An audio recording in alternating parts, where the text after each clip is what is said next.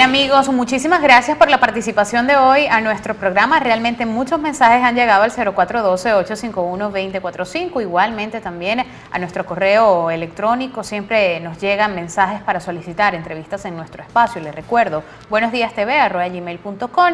Esa es la vía para hacernos saber sobre alguna institución o particular que quiera participar como entrevistado en nuestro programa. Esta mañana también vamos a darle la bienvenida al señor Orlando Alvarado. Él es director general de El SAINA o Servicio de Atención Integral al Niño, Niña y Adolescente y está con nosotros para divulgar y para invitar a una actividad que se estará realizando el próximo primero de diciembre, el próximo martes. Así que bueno, bienvenido, muchísimas gracias por estar con nosotros nuevamente para conversar acerca de esta institución tan importante y que sirve de tanta ayuda para niñas, niños y adolescentes. Bienvenido.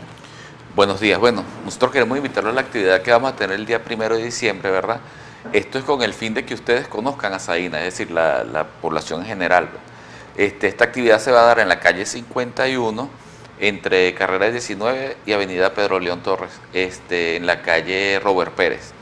Allí vamos a, vamos a recibir de parte de las personas que asistan, queremos que nos lleven algunas donaciones, es decir, algunas cosas de las que son difíciles de conseguir en el, en el, en el día en el día a día, que son por lo menos pañales, que para comprar los pañales para nosotros no, se nos hace casi imposible porque hay que hacer la cola, los proveedores no consiguen pañales en ningún lado.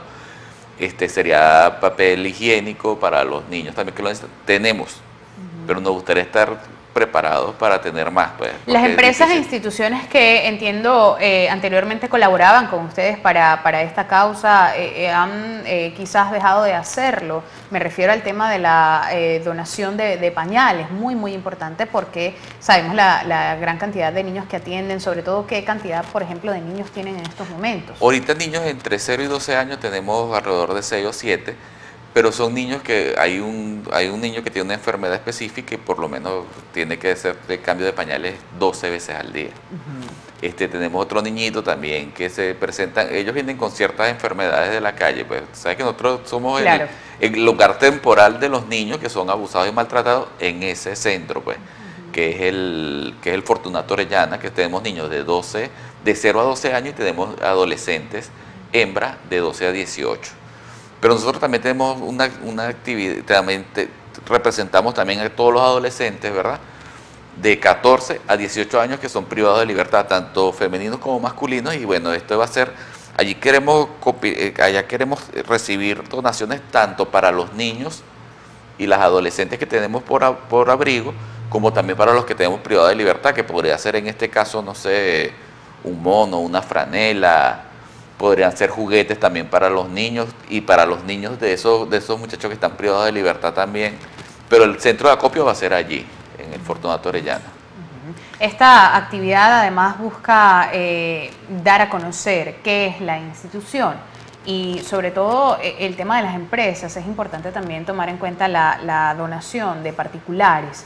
¿Cómo en estos momentos manejan esa situación acá eh, en, nuestro estado, concretamente con la institución? Y me refiero a la solidaridad de las personas que pese a ciertas dificultades económicas y como tú lo decías en un principio, a la dificultad para, algunos productos, igualmente entiendo, estarían colaborando, sobre todo con el tema de los alimentos. ¿Cómo están haciendo ustedes? Con, con el tema de los alimentos, bueno, nosotros tenemos un proveedor, se le hace difícil cuesta arriba conseguir los alimentos, pero bueno, el, nosotros, le, nosotros tenemos el proveedor y ellos no tienen que conseguir los alimentos, pero con respecto a lo que son pañales, a lo que son este, jabones, cuestiones de, de, aseo personal, ahí es más difícil. Nosotros fuimos para una empresa muy reconocida, no quiero decir el nombre, y nos dicen que ellos los tienen muy vigilados con eso y con el tema de las donaciones también les tienen prohibido las donaciones a ellos. Pues.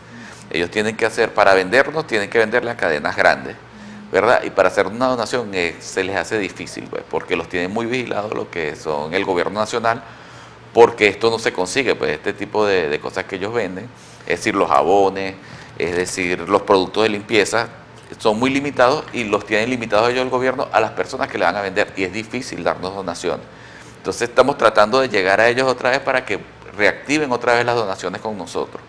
Y con las otras empresas, bueno, ha bajado un poquito porque ¿sabes? con el alto costo de la vida se ha, hecho difícil para ¿Cuál es el presupuesto, por ejemplo, en promedio que manejaba el SAINA para este año 2015? Y de acuerdo a las estimaciones, ¿qué tanto prevén ustedes obtener de presupuesto para el año 2016? Pues nosotros manejamos un presupuesto aproximado de 5 de 5 a 7 mil 7 millones de bolívares mensuales, ¿verdad? Con eso se les paga a los trabajadores, se les paga a los proveedores, este, pero estimamos que eso deberá aumentar por lo mínimo un 100%. ¿verdad? Y eso es el mínimo mínimo que se puede aumentar. Pero tú sabes que nosotros con el presupuesto reconducido se nos hace difícil trabajar, pues. Pero, pero estamos, el gobernador nos va a nosotros el presupuesto que nosotros tenemos y de verdad el gobernador del estado de Lara nos apoya en lo más que puede él, pues. Pero recuérdate que siempre el presupuesto es reconducido. Bien, muchísimas gracias al señor Orlando Alvarado, director general del SAINA. Nuevamente invitar a la actividad, el lugar, la hora, para que las personas estén eh, conscientes sobre esta importante actividad que se realizará el primero de noviembre. Bueno, la actividad es el, día primero de diciembre. Primero de diciembre, disculpen. En la, en, la, en la calle 51, entre 19 y Pedro León, el, la calle Robert Pérez, el sitio es Fortunato Orellana, que es donde están los niños, niñas y adolescentes del Estado Lara. Pues, y allí vamos a recibir tanto para los adolescentes, y para los niños de que nosotros atendemos. Bien, muchísimas gracias nuevamente al señor Orlando Alvarado, director del SAINA, por haber estado con nosotros y de esta forma vamos a cumplir con nuestros anunciantes. Enseguida volvemos con más de nuestro programa. Gracias.